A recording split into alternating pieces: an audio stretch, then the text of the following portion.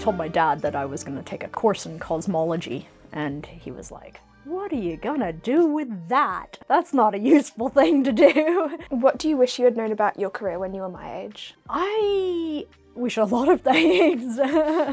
it's a constant obsession. My daughter said that it was amazing that somebody was going to be interviewing me as their future self, and then she pointed out that it may be that you turn out to be way cooler than me. It's fascinating how how much there is out there that we don't know. Every now and then I stop and sort of marvel at the at immensity of the scales that we deal with.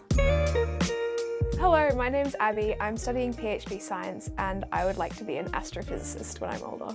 My name's Naomi McClure Griffiths and I am a professor of astrophysics at ANU. Today I'm going to be interviewing my future self, Naomi, the astrophysicist. At a dinner party, how do you explain what you do? So I usually say I'm an astrophysicist and then people stop talking to me. And so then I try to back up a little bit and I say that I study our own galaxy and try to understand the structure of it and how it works. What did you think your job was going to be like compared to what it actually is? That's a good question. Uh, I think I thought my job would be doing a lot of mathematics and a lot of writing equations out and instead it's doing a lot of programming and a lot of things on the computer. Mm. Do you do much maths in your job? I do, um, but very sporadically. So just just enough time in between that I have to go back and remember it all. Um, but then I it comes back. Yeah.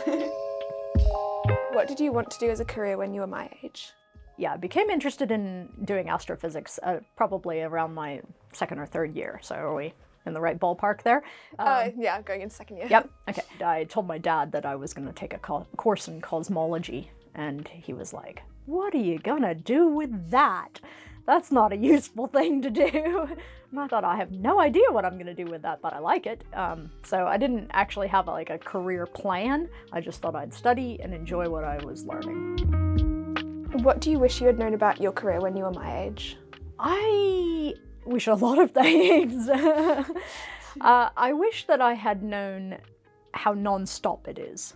Uh, so it's a it's a constant obsession to be involved in research. Mm. You're always chasing a question that you want an answer to, and it's very hard to sort of stop and you know put it aside and just carry on doing other mm. things. I don't think that would have changed anything, but I think it would have sort of mentally prepared me for uh, what is sort of like getting on a treadmill when you get onto this career and you just keep going forever.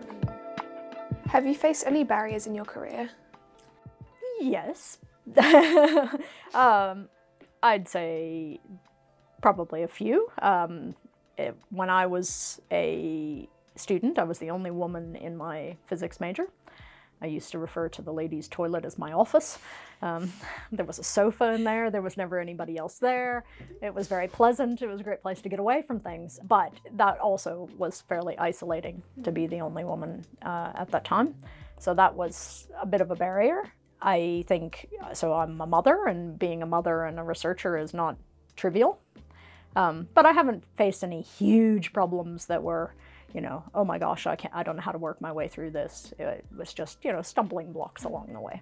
Yeah. Okay. And do you think the like difference in genders in like physics careers is kind of changing? It's changed enormously um, since you know I did my PhD a little over 20 years ago, and since then, the number of women in PhD programs um, worldwide, and you know, in most countries, has become almost 50-50.